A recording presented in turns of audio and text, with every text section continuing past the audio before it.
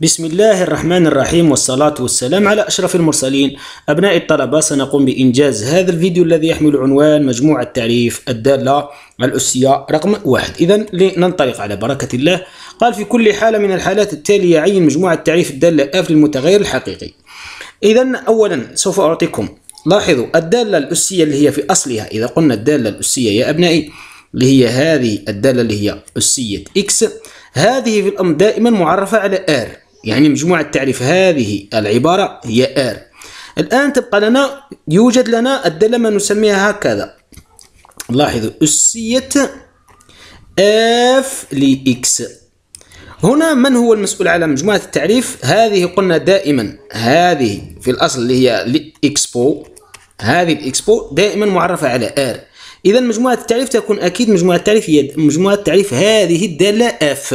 حتى تفهموا. لكن أتحدث عن أسية X معرفة على R لكن أسية F لX تبقى معرفة على ما معرفت عليه الدالة هذه الذي موجودة هنا.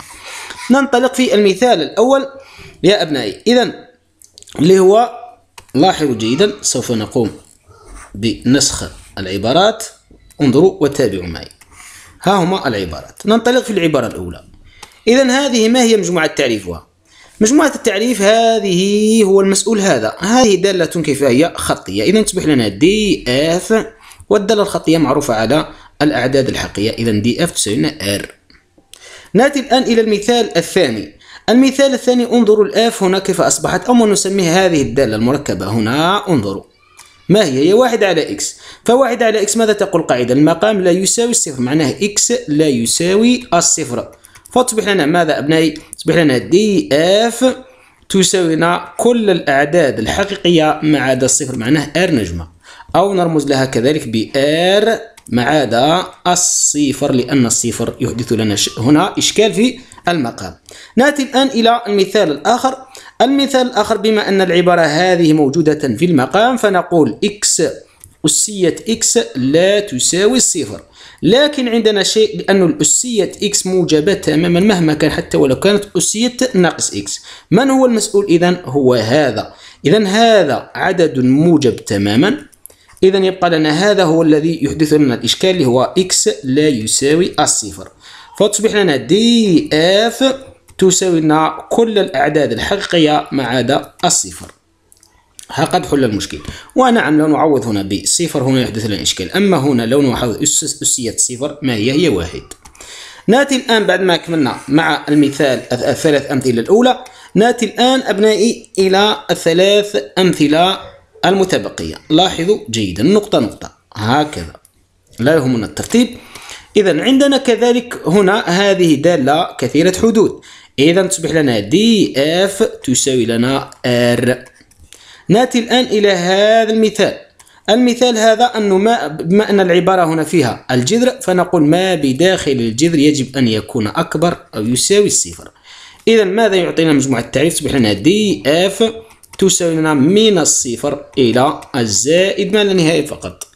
أما هذه الأخيرة هذه دالة دالة خطية وهذه دالة خطية كلاهما معرفتان على R. إذا تصبح لنا دي اف تساوي لنا ماذا؟ تساوي لنا R. مهما كان يا أبنائي.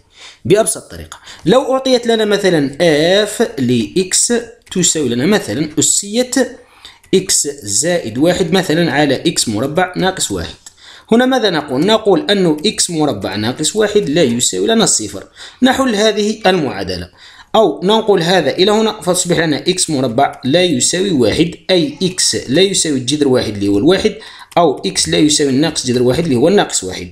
إذا هنا ماذا تصبح لنا في مجموعة التعريف في هذه الحالة؟ هي r. إذا قلنا df تساوي لنا كل الأعداد الحقيقية ما عدا التي عدمت المقام اللي هي الناقص واحد والواحد بهذه البساطة. كذلك لو يعطي لنا عبارة أخرى يعطي لنا مثلا f لx تساوي لنا مثلا واحد على أسية x ناقص مثلا واحد. ماذا نقول؟ مجموعة التعريف بحيث أسية x ناقص واحد بما أن تقع في المقام لا تساوي الصفر. ننقل هذا إلى هنا. فاصبح لنا أسية x لا تساوي الواحد والواحد في أصله ما هو؟ الواحد في أصله هو هذا الواحد يا أبنائي هو في الأصل هو أسية صفر. إذا تصبح لنا هنا أسية صفر. بما أن هذه الأسية والأسية نفسهما إذا إكس يصبح لا يساوي صفر. إذا إكس لا يساوي صفر. وعوض هنا بالصفر. لو تعوض هنا بالصفر يصبح لنا واحد ناقص واحد يعني الصفر. إذا ماذا تصبح مجموعة التعريف؟ تصبح لنا D f تساوي لها R نجمة يعني كل الأعداد الحقيقية ما عدا الصفر بأبسط طريقة ممكنة يا أبنائي.